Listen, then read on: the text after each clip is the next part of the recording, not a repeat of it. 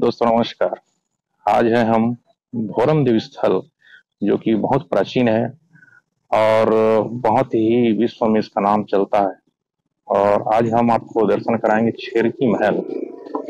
यह जो महल है, बहुत पुराना है, लगभग भोरम देव के निर्माण के समय से। और यहाँ की मान्यता है कि यहाँ इस मंदिर में बकरी की गंध सदैव विद्यमान रहती है। हालाँकि यहाँ कोई बकरी आता नहीं है, ना ही यहाँ पे कोई बकरी पाला जाता है।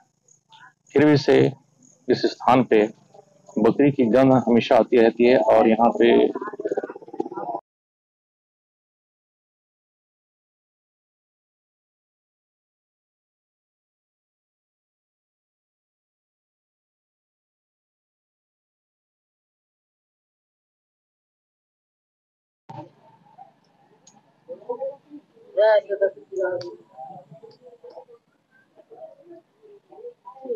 ये मंदिर है, बहुत पुराना मंदिर है और बहुत ऊँचा लगभग पचास फीट इसका मंदिर है और हम अंदर जाके आपको दिखाएँगे।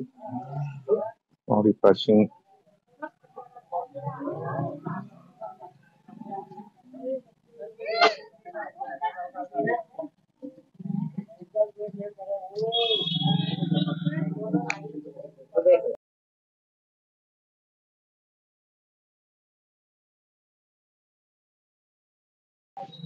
तो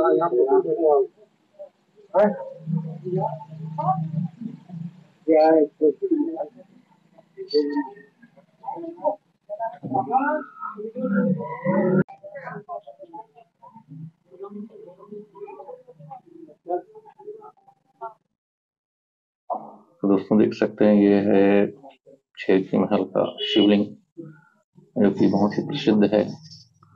और और भी पीछे आप देख सकते हैं, एक और छोटा सा शिवलिंग है साथ ही साथ कुछ कलाकृतियाँ भी जो कि बहुत प्राचीन है, यहाँ पर उपस्थित है। और